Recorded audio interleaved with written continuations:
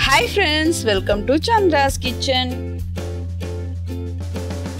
இது வரைக்கும் சந்திராஸ் கிச்சனை சப்ஸ்கிரைப் செய்யாதவர்கள் ரெட் கலர் சப்ஸ்கிரைப் பட்டனை ப்ரெஸ் பண்ணி சப்ஸ்கிரைப் பண்ணிக்கோங்க.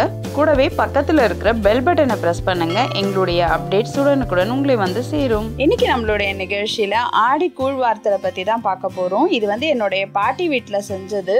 இதை உங்களுக்காக நான் ஸ்டெப் பை ஸ்டெப் சொல்லணும் அப்படின்றதுக்காக நான் ஃபுல்லாக வீடியோவாக எடுத்திருக்கேன். இந்த வீடியோ பிகினர்ஸ்க்கு ரொம்ப யூஸ்ஃபுல்லாக இருக்கும். சாரி என்னோட பாட்டி வீட்டில் வந்து கொஞ்சம் லைட்டிங் ப்ராப்ளம் இருக்கும் ஒரு சில இடத்துல. அதனால வந்து கொஞ்சம் அட்ஜஸ்ட் பண்ணிக்கோங்க. இந்த வீடியோ கண்டிப்பாக உங்கள் எல்லாருக்கும் ரொம்ப யூஸ்ஃபுல்லாக இருக்கும். அதனால் கடைசி வரைக்கும் பாருங்கள் ஆடி வெள்ளிக்கிழமை அன்னைக்கு பார்த்தீங்கன்னா அவங்க முதல்ல கேழ்வரகு வாங்கி அதை வந்து அரைச்சி வச்சுட்டாங்க. நான் வந்து அன்னைக்கு என்னால் எடுக்க முடியல. அதை வந்து வெள்ளிக்கிழமையே வந்து கரைச்சி வச்சுட்டாங்க. சனிக்கிழமை அன்னைக்கு தான் வந்து நான் வந்து எடுக்க முடிஞ்சுது. சனிக்கிழமை பார்த்தீங்கன்னா நம்ம வந்து முதல்ல இப்போ கூழ் எப்படி செய்கிறது அப்படின்றத பற்றி பார்க்கலாம் ஒரு பாத்திரத்துல வந்து அவங்க தண்ணி வச்சுட்டு நொய்யை வந்து நல்லா அலசிட்டு இப்போ போட்டுட்டு இருக்காங்க இது வந்து பாத்தீங்கன்னா ஒன்றரை கிலோ நொய் அதுக்கப்புறம் கேழ்வரகு வந்து ஒன்றரை கிலோ மாவு. அவங்க எப்பவுமே சரிசமமா தான் போடுவாங்க.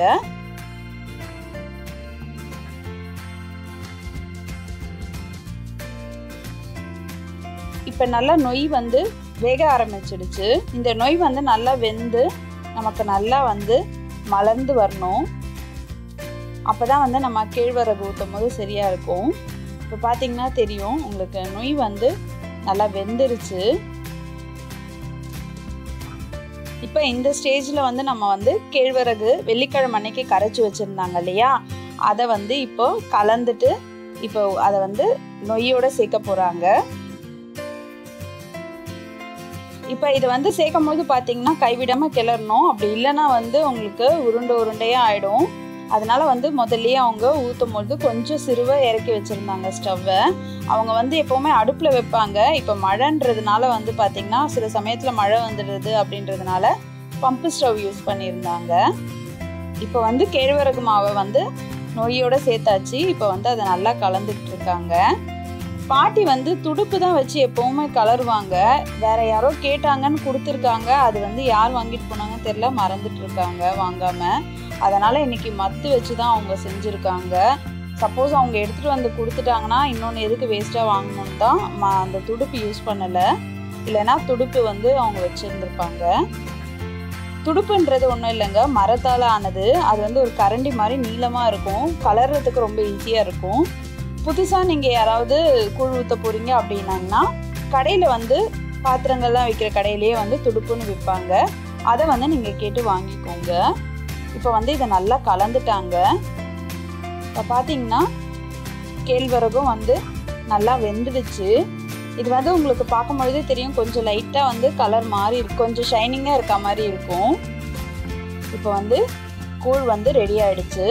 இது வந்து எப்போவுமே சனிக்கிழமை சாயந்தரம் வந்து காய்ச்சி வச்சிருவாங்க. ஞாயிற்றுக்கிழமை தான் வந்து இதை கரைச்சி கூழ் ஊற்றுவாங்க இது கூட என்னென்னலாம் செய்யணும் அப்படின்றத வந்து நான் சொல்கிறேன் இந்த கூழ் வந்து பார்த்திங்கன்னா எப்போவுமே நம்ம உள்ளே பூஜை பண்ணிவிட்டு வெளியில் கொண்டு போய் தான் ஊற்றுவாங்க இப்போ வந்து நம்ம கூழ் ரெடி ஆயிடுச்சு.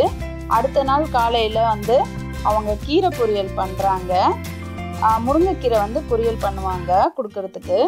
இதில் கடுகுளுந்து சேர்த்தாச்சு. அடுத்தது முருங்கைக்கீரையை முன்னாடியே அலசி எடுத்து வச்சுருந்தாங்க. அதை வந்து இதோட சேர்த்துட்டாங்க. இப்போ இதை நல்லா கலந்து விட்டுட்டு இது கூட என்னென்ன சேர்ப்பாங்க அப்படின்றத நான் சொல்கிறேன் கொஞ்சம் தேவையான அளவு உப்பு சேர்த்துக்கோங்க. இந்த கீரை பொரியலில் வந்து பார்த்தீங்கன்னா அவங்க முன்னாடி காஞ்ச மிளகாலாம் எதுவுமே போடலை. வெறும் கடுகுளுந்த பருப்பு மட்டும்தான் போட்டிருந்தாங்க. இப்போ வந்து சால்ட்டு சேர்த்துருக்காங்க. கொஞ்சம் தண்ணி வந்து சேர்த்துருக்காங்க.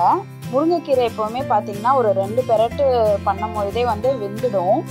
இந்த பொடி தாங்க அது. இந்த பொடி என்னன்னு பார்த்தீங்கன்னா பச்சரிசி அதுக்கு அடுத்தது வேர்க்கடலை காஞ்ச மிளகாய் அப்புறம் ஒரு ரெண்டு பூண்டு. இதை சேர்த்து அரைச்ச பொடி. இதை வந்து இதோட சேர்த்து கலந்துருவாங்க. இது கூட நீங்கள் கொஞ்சம் சீரகமும் சேர்த்து அரைச்சிங்கன்னா நல்லா வாசமாக இருக்கும். எப்போவுமே இந்த மாதிரி பொரி அரிசி வறுத்து தான் அவங்க வந்து முருங்கைக்கீரை பொரியல் செய்வாங்க. பொரி அரிசி அப்படின்றது பச்சை அரிசியை வந்து நல்லா பொரியிற மாதிரி வறுக்கணும். வறுத்த பின்னாடி ஒரு மூணு காஞ்ச மிளகா அதுக்கு அடுத்தது உங்கள் கீரைக்கு அளவுக்கு ஏற்ற மாதிரி மூணுலேருந்து அஞ்சு காஞ்ச மிளகா கொஞ்சம் ஒரு ஸ்பூன் சீரகம் ஒரு ரெண்டு ஸ்பூன் வேர்க்கடலை பருப்பு சேர்த்து நீங்கள் பிடிச்சி வச்சுக்கலாம். இது ரொம்ப நல்ல டேஸ்ட்டாக இருக்கும். இப்போ வந்து நல்லா கலந்தாச்சு. இப்போ நம்மளுடைய முருங்கைக்கீரை பொரியல் ரெடி பண்ணி வச்சாச்சு.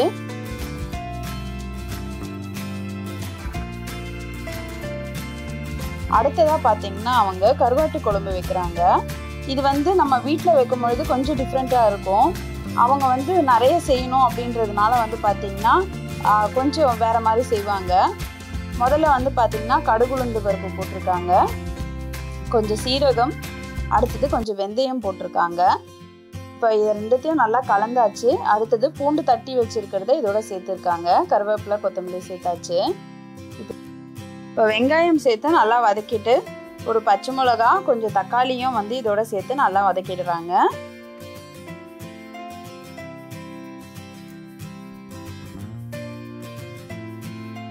இது கூட பார்த்தீங்கன்னா இந்த கருவாட்டு குழம்புக்கு அவங்க நிறைய காய்கறிகள் கட் பண்ணி வச்சுருந்தாங்க. நான் ஃபஸ்ட்டே கேட்டேன் கடாய் வந்து கம்மியாக இருக்குது நீங்கள் இதில் வதக்குறீங்களேன்ட்டு. காய்கறி வதக்கும் பொழுது வந்து மாற்றிக்கலாம் பாத்திரத்தை பார்த்து அப்படின்னு சொல்லிட்டாங்க. அதனால் வந்து இப்போது பாத்திரத்தையும் கொஞ்சம் மாற்றிடுவாங்க மஞ்சள் தூள் சேர்த்து நல்லா வதக்கியாச்சு. இப்போ இதை நல்லா வதங்கிடுச்சு. இப்போ வந்து காய் சேர்க்க போகிறாங்க இந்த காய்கறிகள் பார்த்தீங்கன்னா என்னென்னா முக்கியமாக பார்த்தீங்கன்னா கீரைத்தண்டு வந்து வாங்குவாங்க. யார் கூழ் ஊற்றுறதுனாலுமே வந்து பார்த்தீங்கன்னா இந்த கீரைத்தண்டு உருளைக்கிழங்கு வாழைக்காய் அதுக்கப்புறம் வந்து கத்திரிக்காய் முருங்கைக்காய் எல்லாமே வந்து இதில் கலந்து செய்வாங்க. கருணக்கிழங்கு கூட வாங்கி செய்யலாம்.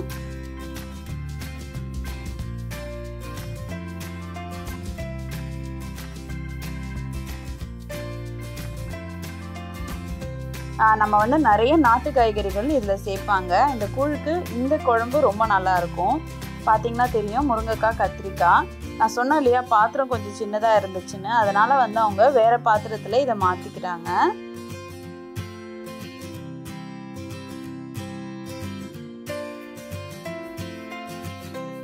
இப்போ இந்த பாத்திரத்தில் மாற்றின பின்னாடி இதை வந்து ஒரு வாட்டி கலந்து விட்டுட்டாங்க.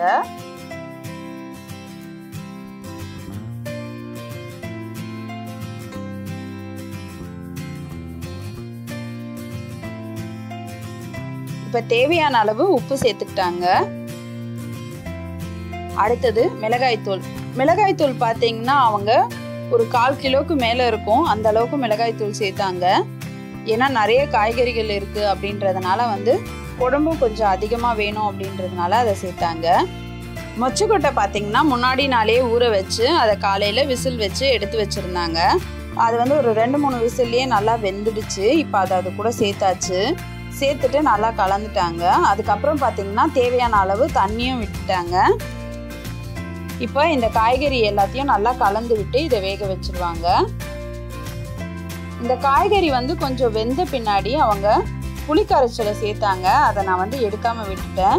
புளிக்கரைச்சல் வந்து தேவையான அளவு புளிக்கரைச்சல். ஒரு நூறு கிராம் புளி இருக்கும். அதை கரைச்சி விட்டுருந்தாங்க.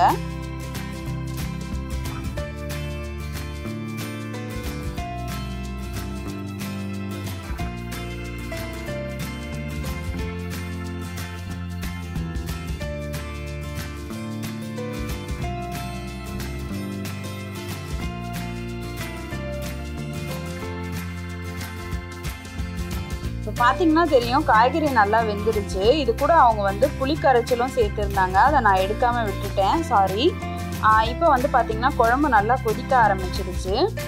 குழம்பு வந்து பார்த்திங்கன்னா நம்ம வீட்டுக்கு வைக்கிறதுனா கொஞ்சம் திக்காக இருக்கும். இது வந்து நம்ம காய்கறி நிறைய இருக்கிறதுனால கொஞ்சம் தண்ணியாக தான் இருந்தது. அதுக்கு வந்து கூட வந்து கருவாடு போட்டிருந்தாங்க. கருவாடு வந்து பார்த்திங்கன்னா கச்சை கருவாடு வாங்கி வச்சுருந்தாங்க. அதை சுத்தம் பண்ணி அதை சேர்த்துருந்தாங்க. இப்போ கருவாடு குழம்பு ரெடி ஆயிடுச்சு. கூழ் வந்து கரைச்சி அதுக்கு மேலே தயிரும் வெங்காயமும் சேர்த்துருந்தாங்க. மேலே கொஞ்சம் வேப்பிலை வச்சுருந்தாங்க. அடுத்ததாக பார்த்தீங்கன்னா நடுவீடுன்னு சொல்லுவாங்க. ஒரு சிலருக்கு அது பழக்கம் இருக்கும். அங்கே வந்து சாதம் அதாவது வந்து பொங்க சாதம்னு சொல்லுவாங்க. அதில் வந்து உருண்டை பிடிச்சி வச்சு அதுக்கு மேலே கொஞ்சம் பச்சரிசி மாவும் வெல்லமும் சேர்த்து வச்சுருக்காங்க. இது வந்து முரத்தில் வைப்பாங்க. நடு வீட்டில் ஒரு அஞ்சு வைப்பாங்க. இந்த தையலை வந்து கூழ் வாரத்தில் அப்போ வந்து இந்த இலையை தான் போட்டு செய்வாங்க. அதனால தையலை வச்சுருந்தாங்க. இப்போ வந்து கூழெல்லாம் படைச்சி கருவாட்டு குழம்பும் படைச்சிருந்தாங்க.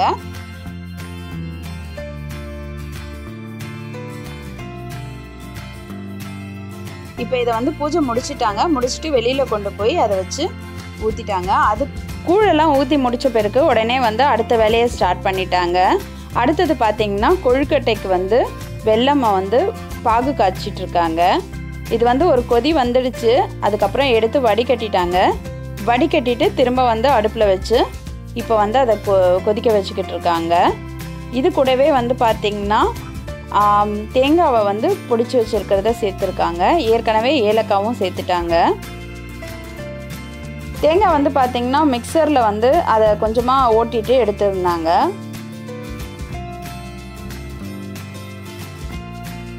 இது நல்லா பொங்கி வரும் பொழுது மாவை வந்து வேக வச்சு வச்சுருந்தாங்க. அதை வந்து இது கூட சேர்த்து கொஞ்சம் கொஞ்சமாக சேர்த்து கலந்துட்டு இருந்தாங்க.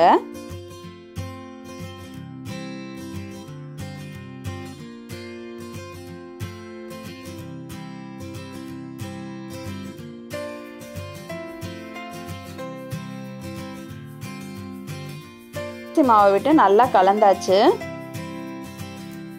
இப்போ இதை இறக்கி வச்சுட்டாங்க.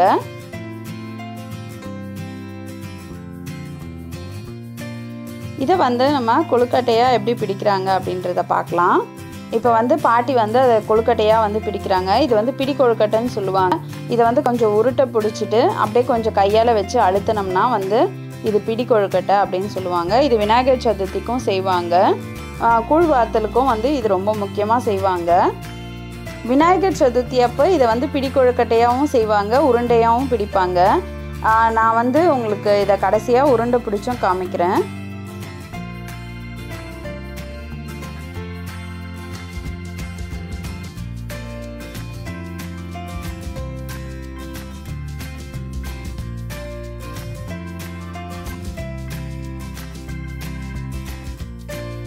கொழுக்கட்டை மாவுலேயே பார்த்தீங்கன்னா அவங்க அகல் விளக்கும் செஞ்சுடுவாங்க. செஞ்சுட்டு அதில் வந்து நெய் விட்டு தீபம் ஏற்றுறதுக்கு வச்சுருவாங்க.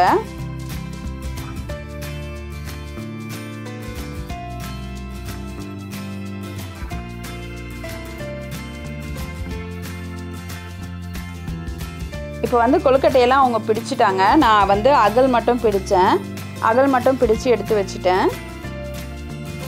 கொஞ்சம் உருண்டையும் வந்து நான் இதில் சேர்த்து பிடிச்சு வச்சுட்டேன்.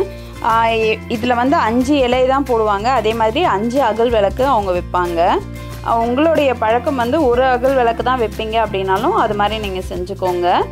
உருண்டை வந்து நான் இந்த மாதிரி உருண்டை பிடிச்சும் வச்சுட்டேன். இப்போ இதை வந்து நாங்கள் வேக வச்சு எடுத்துட்டோம். அடுத்தது பார்த்திங்கன்னா நான்வெஜ் எல்லாம் செய்ய ஆரம்பிச்சிட்டாங்க. நான்வெஜ்ஜில் முதல்ல பார்த்திங்கன்னா சிக்கன் வந்து செய்ய போகிறாங்க அதுக்கு வந்து பட்டை பிரிஞ்சி இலை சோம்பு சேர்த்துக்கிட்டாங்க. இந்த வாட்டி பார்த்திங்கன்னா அதிகமாக யாருக்கும் சொல்லலை. சிம்பிளாக தான் செஞ்சாங்க. அதனால் வந்து கம்மியான அளவு தான் செஞ்சுருக்காங்க. வெங்காயம் கருவேப்பிலை கொத்தமல்லி அப்புறம் இஞ்சி பூண்டு விழுது சேர்த்துருக்காங்க. சேர்த்துட்டு நல்லா வதக்கிட்டாங்க.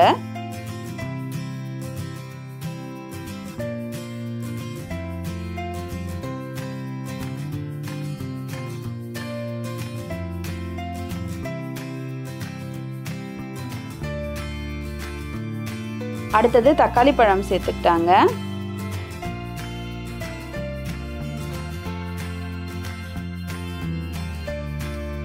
நான் வந்து பார்த்திங்கன்னா வீடியோ எடுக்கிறதுனால நான் வந்து நான்வெஜ் எதுவுமே நான் செய்யலை. நான் வந்து சும்மா அந்த அகல் மட்டும்தான் பிடித்தேன் வேறு எதுவுமே நான் வந்து செய்யலை. இப்போ தக்காளி வெங்காயத்தை நல்லா வதக்கிக்கிட்டாங்க. கூட கொஞ்சம் மஞ்சள் தூள் சேர்த்தா சீக்கிரமாக வதங்குன்றதுனால மஞ்சள் தூளும் சேர்த்து வதக்கிட்டாங்க. அடுத்தது சிக்கனை வந்து இதோட சேர்த்துக்கிட்டாங்க. ஒரு முக்கால் கிலோ சிக்கன் தான் வாங்கியிருந்தாங்க. அதனால் அதை வந்து சேர்த்து நல்லா வதக்கிக்கிட்டாங்க.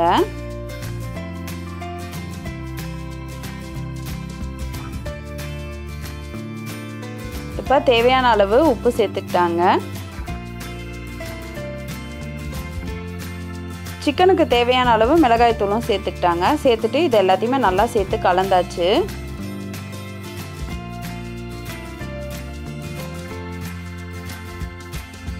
சிக்கன் வேக தேவையான அளவு தண்ணி விட்டு இதை வந்து வேக வச்சுட்டாங்க.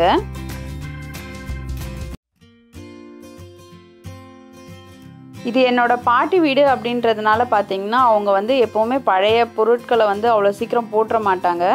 அதனால் வந்து கொஞ்சம் பழைய பொருட்களாக தான் இருக்கும்.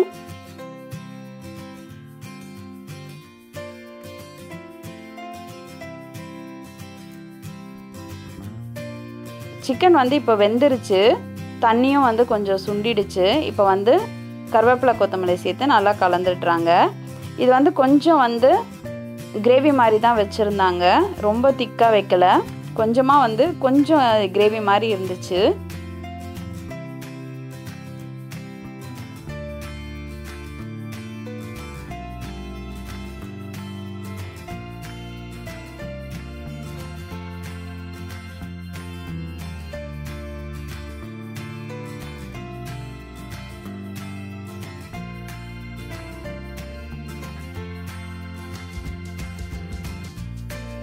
அடுத்தது பார்த்திங்கன்னா சிக்கன் வறுத்து எடுத்த உடனே பார்த்திங்கன்னா அதுலேருந்து கொஞ்சம் காரம் இருந்தது. அதனால் அது கூடயே கொஞ்சம் எண்ணெய் ஊற்றி மிளகாய் தூள் ரெண்டு ஸ்பூன் சேர்த்து கொஞ்சம் மஞ்சள் தூளும் சேர்த்துட்டாங்க. சேர்த்து உப்பு சேர்த்து கொஞ்சம் தண்ணி விட்டுட்டாங்க. இதை நல்லா கலந்துட்டாங்க. இது வந்து கொதித்த பின்னாடி அவங்க வேக வச்சுருந்த முட்டையை வந்து அந்த காரத்துக்காக அதில் போட்டு நல்லா கலந்துருந்தாங்க. ஏற்கனவே சிக்கன் வதக்கின கடாய் அப்படின்றதுனால வந்து பார்த்திங்கன்னா அந்த ஃப்ளேவர்ஸ் வந்து கொஞ்சம் முட்டையில் இறங்கியிருந்தது அப்படின்னு சொல்லியிருந்தாங்க.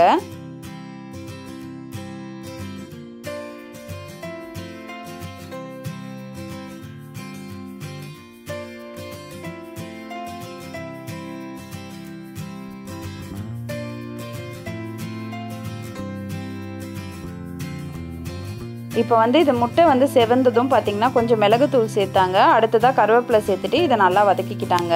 இதை நல்லா கலந்து விட்டுட்டாங்க. நம்மளுடைய சந்திராஸ் கிச்சன்லேயே எறா வந்து நிறைய செஞ்சுருக்கோம். அதனால் வந்து நான் எறா வந்து ஃபஸ்ட்லேருந்து ஸ்டெப் பை ஸ்டெப் எடுக்கல. வெங்காயம் தக்காளி இதெல்லாம் வதக்கிட்டு அதுக்கப்புறம் எறா சேர்த்துருந்தாங்க. சேர்த்துட்டு மிளகாய் தூள் உப்பெல்லாம் சேர்த்து அதை கலந்துருந்தாங்க.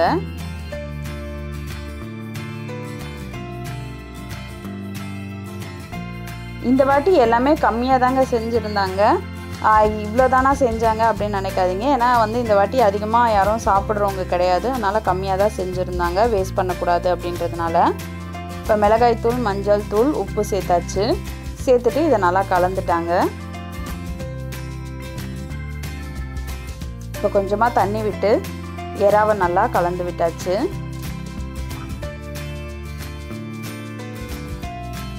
நான் வந்து பாட்டி வீட்டோடைய ஃபுல் பூஜா ரூமை வந்து நான் உங்களுக்கு காமிக்கல. காரணம் என்னன்னு பார்த்தீங்கன்னா நாங்கள் வந்து முருகரை வந்து வழிபடுறதுனால நான்வெஜ் வந்து முருகர் முன்னாடி வைக்கக்கூடாதுன்றதுனால கொஞ்சம் வந்து நாங்கள் அதை மேலே காமிக்கல. கீழே மட்டும் நடு வீட்டில் மட்டும் வச்சு சாமி கும்பிட்டுருந்தோம். நான் உங்களுக்கு திரும்ப எப்பயாச்சும் வந்து நான் போகும்பொழுது நான் உங்களுக்கு வந்து எங்கள் பூஜை ரூமை காமிக்கிறேன்.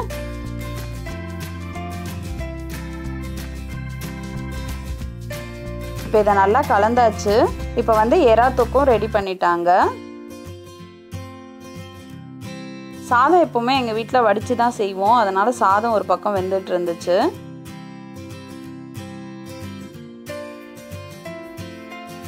ஒரு பக்கம் மீன் குழம்பு வந்து கொதிச்சுக்கிட்டு இருந்தது. இப்போ நம்மளுடைய சாமிக்கு தேவையான படையல் ரெடி பண்ணிட்டாங்க. இதில் வந்து மீன் வறுவல்லாம் அவங்க இந்த வாட்டி செய்யலை. வெறும்னே வந்து பார்த்திங்கன்னா கம்மியாக தான் செஞ்சுருந்தாங்க. ஒரு சிம்பிளாக தான் பூஜை பண்ணுறதுக்காக அதனால் முட்டை அதுக்கப்புறம் வந்து சிக்கன் அப்புறம் எறா கொஞ்சம் ரசம் மீன் குழம்பு கருவாட்டு குழம்பு கூழ் சாதம் அதுக்கப்புறம் வந்து கொழுக்கட்டை. இவ்வளோ தான் செஞ்சுருந்தாங்க நான் வந்து சாமியோட மேல் பக்கம் எடுக்கலைங்க. கீழே மட்டும்தான் எடுத்திருந்தேன். மேலே வந்து திற போட்டுட்டதுனால கீழே வந்து நான் சாமியை எடுத்துக்கல. அங்கே வந்து லைட்டிங் ப்ராப்ளமாக இருந்ததுனால நான் கொஞ்சம் டார்ச் யூஸ் பண்ணியிருந்தேன். உங்களுக்கு காமிக்கணும் அப்படின்றதுக்காக தான் இதை பண்ணியிருந்தேன். நான் சொன்ன இல்லையா அகல் வந்து அஞ்சு அகல் வச்சுருந்தோம் இல்லையா கொழுக்கட்டையில். அதை வந்து விளக்கு ஏற்றி அங்கே வச்சுருக்காங்க. மற்றபடி எல்லா மற்ற சாமிங்களாம் இருக்கிற மாதிரி வச்சு பூஜை பண்ணியிருந்தாங்க. உங்களுக்கு இந்த பூஜை முறையில் ஏதாவது தகவல்கள் தேவைப்பட்டுச்சுன்னா நீங்கள் கமெண்ட் பாக்ஸில் அதை சொல்லுங்கள் நான் எனக்கு தெரிஞ்சுதான் உங்கள் கூட ஷேர் பண்ணிக்கிறேன். இந்த வீடியோவை கடைசி வரைக்கும் பார்த்ததுக்கு ரொம்ப நன்றி. இந்த வீடியோ பிடிச்சிருந்ததுன்னா லைக் பண்ணுங்கள் உங்களோட ஃப்ரெண்ட்ஸ்க்கும் ஷேர் பண்ணுங்கள் மறக்காமல் சந்திராஸ் கிச்சனுக்கு சப்ஸ்கிரைப் பண்ணுங்கள் நான் இன்னொரு சுவாரஸ்யமான வீடியோவோட உங்களை சந்திக்கிறேன். நன்றி வணக்கம்.